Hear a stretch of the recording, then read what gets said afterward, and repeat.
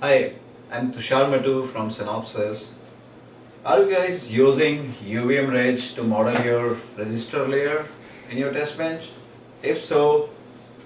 in this video I am going to tell you how to integrate UVM Reg with AXI VIP. So here is how the test bench would look like when the AXI VIP is integrated there and you have a register model ready to be integrated with that AXI VIP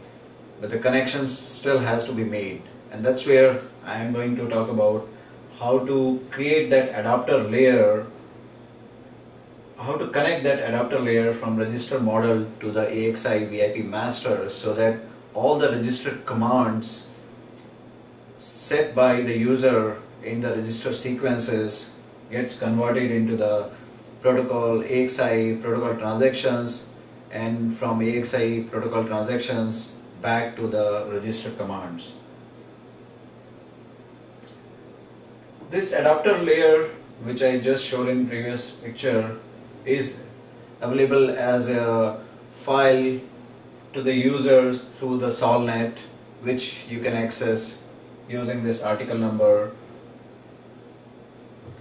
and once you have once you got access to that file you can include that register AXI adapter file into your test bench and create an instance of that adapter in your test bench environment. Then you need to set a sequencer for the register model so that all the registered commands executed or defined by the user in the register sequence gets converted into the protocol specific transactions using that specific master instance sequencer which you have set the connection over here. VIP also requires user to pass the right configuration handle within the transaction so that whenever transaction is randomized it keeps all the transaction fields within that configuration bound which are which which are basically the characteristics of the DUT and the adapter layer also expects that configuration master configuration to be passed to it. And this step shows how you need to do that through the object dot